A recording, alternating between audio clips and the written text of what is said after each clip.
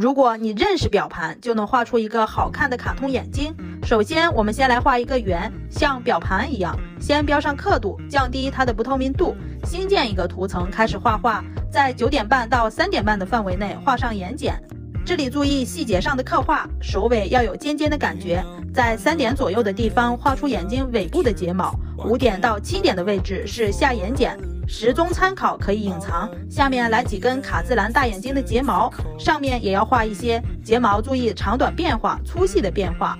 上面画出双眼皮和眉毛，中间是瞳仁和瞳孔，画出眼球的形状。